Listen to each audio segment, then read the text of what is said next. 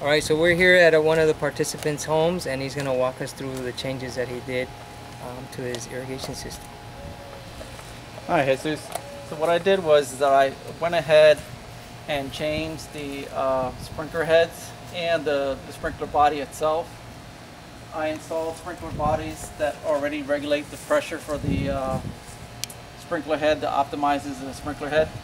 And the sprinkler heads that I put on there were the uh, rotator heads. So I installed, I replaced existing ones and I added one additional one to make sure that I have full coverage. I also eliminated the sprinkler heads that were along the hedge and flower beds.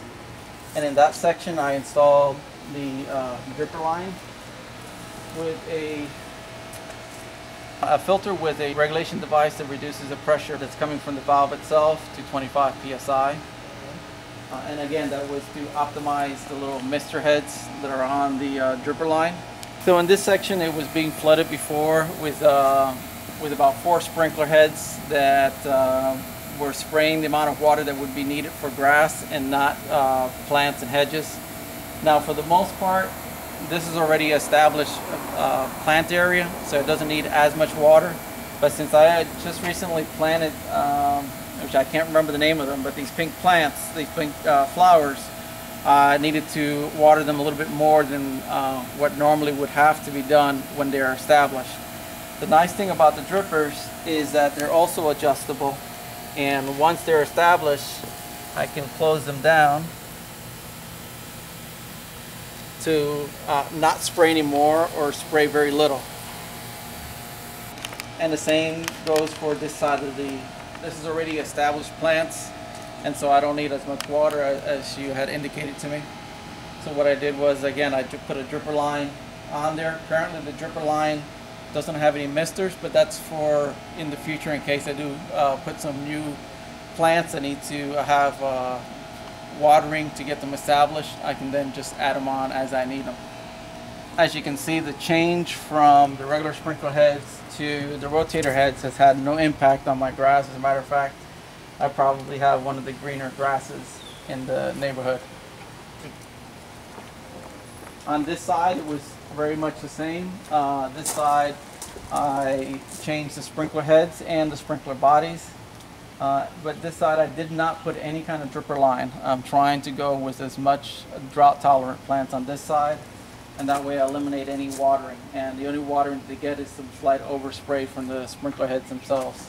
Was that the motivating factor behind most of your plant decisions or lower water needs? Yes, uh, something that would um, bloom on a regular basis uh, year round and also that wouldn't need uh, as much maintenance as far as water was concerned. Those aren't too difficult to find, are they? No, and they're available at uh, most nurseries. And most nurseries have a little tag that's on them that gives you all the kind of all the information you need on how much sun, how much water they need.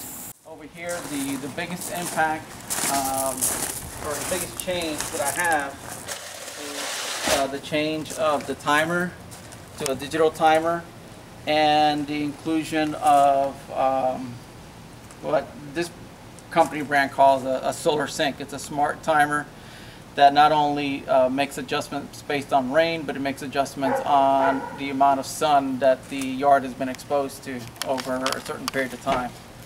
If it's a very hot day with a lot of sun, the system automatically adjusts it to uh, uh, spray a little bit more water uh, for an extended period of time. If it's an overcast day uh, and it has uh, rain within the last few days, it will adjust it so it sprays a lot less. I went from a regular uh, analog uh, timer to this digital timer and also I changed from the index uh, valves to the electric valves. After that um, I eliminated all of the sprinkler heads on the side of the house since uh, this side of the house maintains a lot of moisture since it's a lot of, it's uh, shaded quite often. Um, and most of the plants here are already well established. These things were going to happen regardless of the, the program, or did the program help? The program expedited um, its install. I mean, we have quite a few things. We moved in only six months ago. We have quite a few things that you know we have to still do in the house, and it probably would have been last on the agenda, uh, given the um, the availability of the program. It helped uh, leapfrog quite a few other items that I had and make it more of a priority so that I could take advantage of the program.